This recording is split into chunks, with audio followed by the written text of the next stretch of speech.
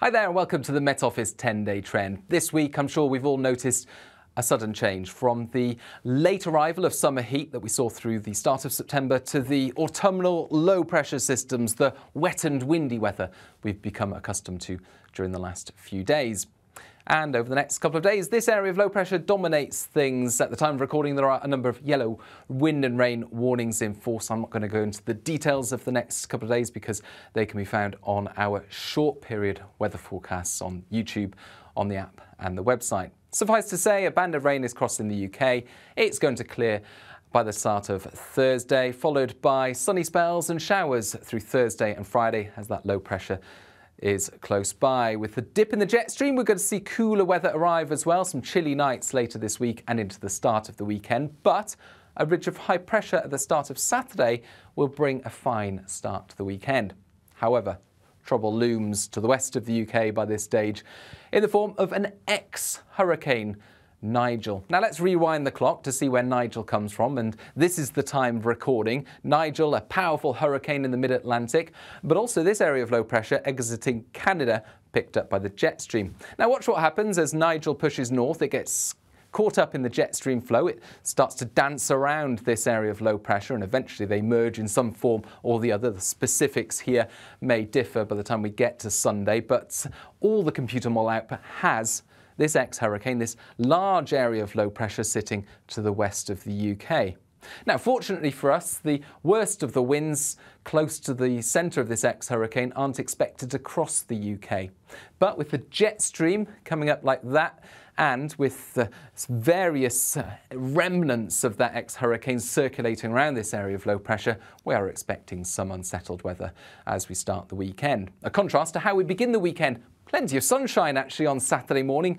A chilly start, colder perhaps than we've seen in many places during September so far. A touch of frost in some northern parts, but the cloud builds through the day and it's a fine day for most, just a few showers for western and northern Scotland, a bit of a breeze for Shetland and Orkney. But elsewhere it's light winds, bright spells and lower temperatures fairly widely across the UK compared with what we've seen so much of through September so far. Nevertheless, feeling perfectly pleasant given the fine conditions. Saturday's the day, especially if you're in the west, for getting out and about because by the end of the afternoon, Northern Ireland starts to see the first signs of uh, the remnants of this ex hurricane, outbreaks of mainly light rain feeding in by this stage. Then we get to Sunday, the rain turns heavier, becomes more widespread, and increasingly affects especially parts of Wales, northwest England, southwest Scotland. The heaviest of the rain will be over west and southwest facing hills of these parts, and of course, these areas have seen a lot of rain during the last couple of days, so further rain on Sunday and into Monday could cause some issues. We'll be monitoring that very closely. Either side of that, you'll notice a fine day for northern Scotland, parts of Northern Ireland as well, and uh, mostly fine day towards the southeast, but the cloud building through the day. And with the winds coming from the south, actually, for many, it's a warmer day, although it won't feel warmer as the wind and rain arrive into these western parts, but 21 Celsius there for the southeast, mid-teens for northern Scotland. It is turning windier though later Sunday as uh, Nigel heads a little bit closer. Some tightly packed isobars bringing the risk of gales to western and northwestern coasts. And the weather front I mentioned across some of these west-facing slopes of Wales, northwest England, southwest Scotland, it's slow moving on Sunday night and into Monday, so bringing quite significant amounts of rainfall, risk of more than 100 millimetres over some of the hills, for example. Eventually, through Monday and into Tuesday, that does push southeastwards, followed by a mixture of sunny spells and showers from the northwest as we go into Tuesday and Wednesday. Now, what happens after that is subject to a little bit of uncertainty. If you're watching our deep dive yesterday, you'll have uh, seen Alex talk about the increased likelihood of high pressure through next week. And that's not entirely out of the question, but things have slightly changed in the last 24 hours. And to explain why, let's take a look at this colourful chart. Now this shows the probability of either low pressure or higher pressure being close to the UK or being influential on the UK's weather each day from Wednesday the 20th of September to Wednesday the 4th of October for the next two weeks. Just focusing on the top row for now, And the dark blues for the next five days indicate low pressure is 100% likely, basically. Then the blues get lighter into next week, but still indicate that lower pressure is more likely than higher pressure before the reds begin to take over at the start of October, although that is a long way off, and I'll talk more about that in a moment. What you will notice though, if you look at the previous rows, the ones below, these are previous model runs. So the one below is 12 hours before, the one below that is 24 hours before.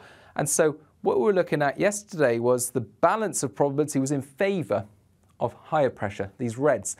And then those reds have turned to blues for next week. That's the crucial time in the last 24 hours. So this kind of chart is useful looking at trends in the computer model output through time. And uh, what can make you nervous as a meteorologist is if you see this sudden change and it's important to see if it's maintained with future computer model runs. So we'll see about that. But the question is, why is it changed in such a manner? Now, to answer that, we need to look at Thursday. This is tomorrow at the time of recording, and out towards Cuba and Florida. And this little kink in the isobars, indicative of a forming area of low pressure, and that low, a tropical system, moves north along the eastern seaboard, deepens, uh, gets picked up by the jet stream, and by Sunday, that started to become influential on the weather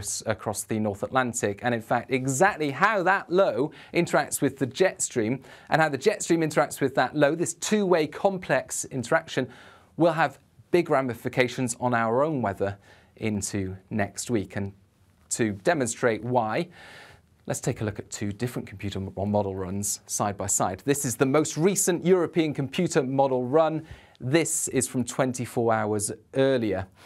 And this is like one of those spot the difference charts. So I've identified three significant differences. If you want to play along at home, feel free to pause the video before I give them away.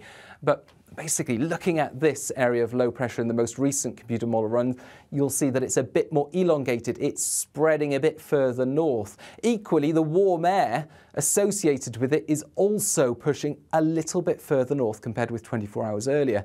And a third difference this cooler air over North America is pushing a bit further south. So in essence, the most recent computer model run has lower pressure in this region and more of a temperature contrast. And those differences become even more amplified if we push forward through time from Saturday at 12 p.m., the 23rd of September, to 1 a.m. Uh, Sunday, and that difference, that lower pressure pushing to the north there in the bottom panel, but not really doing anything in the top panel.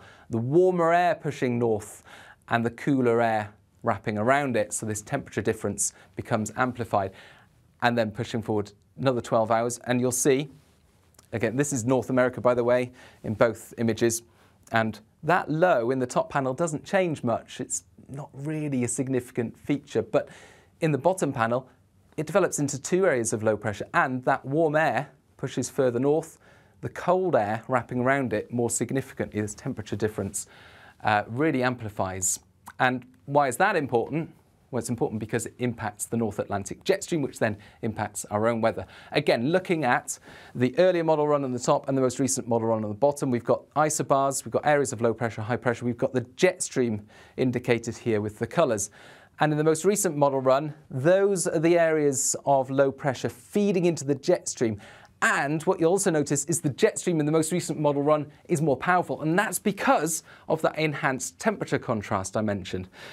And what we're seeing if we push forward through time is these areas of low pressure are helping to strengthen the jet stream and at the same time the jet stream is helping to strengthen these areas of low pressure. They don't particularly exist in the earlier computer model runs. The jet stream in the earlier run is weaker, and because it's weaker, it becomes a bit more loopy, a bit more meridional across uh, the Atlantic. And because it's flatter, when it's more powerful in the most recent model run, it deepens these areas of low pressure. And skipping forward through time, so this is Tuesday, 1 p.m., it's got hold of this area of low pressure. That's one of the lows that emerged from the original tropical low. There's another one there, um, hot on its heels coming across, and the jet stream altogether flatter and more powerful in the bottom panel compared with it being weaker and pushing to the north of the UK in the top panel, allowing higher pressure to build. So finally, pushing forward another couple of frames, by the start of Wednesday, we've got low pressure to the northwest in the most recent model run, higher pressure over the UK in the earlier model run, all because the jet stream is weaker, it's looping around a bit more, uh, compared with the more powerful, flatter jet stream in the bottom panel. And by the time we get to Wednesday, 1 p.m., low pressure is in charge of the UK's weather, sitting to the northwest in the most recent model run, as opposed to higher pressure.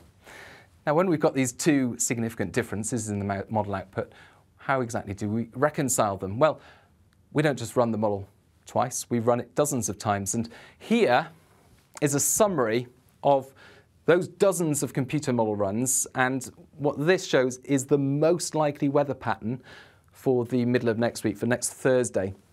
And this shows low pressure to the northwest. It's got these colours here indicating spells of rain feeding into the west and northwest with higher pressure to the south and southeast. The second most likely weather pattern, looking at all these dozens of computer model runs, is to have low pressure a bit further away from the UK and have higher pressure to the east. And that would indicate drier towards the east, wetter towards the west. So although there are these big differences, there are a few themes that we can pull out, a few commonalities between these different computer model runs. We, they all have low pressure to the northwest. They all have it less unsettled to the southeast. And with the winds generally coming from the south or southwest, they all have things warmer than average both by day and by night. The main question mark through next week and beyond is the extent to which we've got low pressure influencing our weather from the northwest or higher pressure influencing our weather from the east. Either way, the weather looks fairly typically autumnal and it looks like staying that way into the start of October. Again, this is the output from dozens of model runs. 1st of October, and it shows once more low pressure, most likely towards the northwest. This time higher pressure towards the south with fairly warm air evident across much of the UK. And this is the second most likely pattern for the start of October, with lower pressure a bit more influential, bringing unsettled weather to the northwest, higher pressure still a bit more influential towards the south and southeast. So the trend is fairly clear. It's warmer than average. We're likely to see spells of rain and wind at times during days 7 to 14. But how wet and how windy, and how close those lows are to the west and northwest is currently the main source of uncertainty. But of course, we'll keep you updated as and when we get further information, and you can find all the latest online.